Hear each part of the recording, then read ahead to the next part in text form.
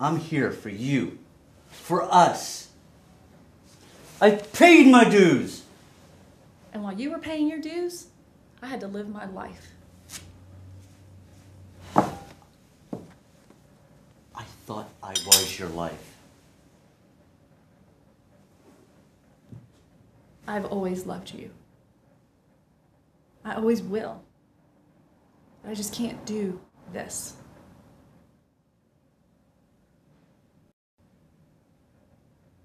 Nothing left.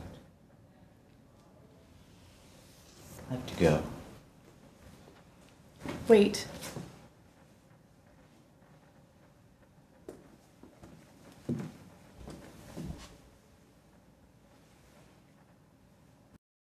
This is like deja vu all over again.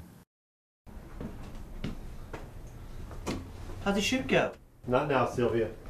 Grady Morris is in your office. The Grady Morris? I didn't ask him for ID. I have to go at 12.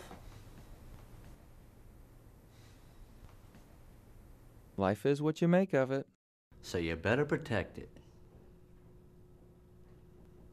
But you can do anything if you put your mind to it.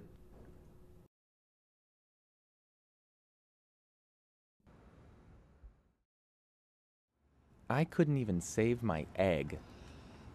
You said I could do it. Little white lies, No, rules, gotta stay up here with the rest of us. regulations. There's so many things that hold us down. Let me go.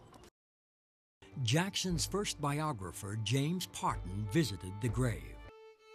But Jackson was also one of the most controversial presidents in American history.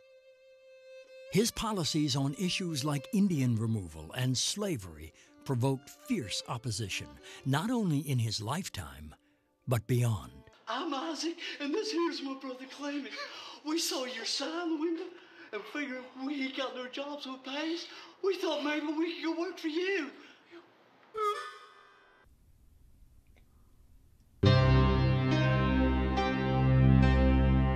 Did you see a girl come in here? Pretty, blonde hair, about 5'4. I'm your professor. This is my home. Well, I told you that I I'm- can't talk now. Oh, dog! And working with Bruce as uh, Earl Musket, he's a great actor, and uh, it's always fun working with with, uh, with the best.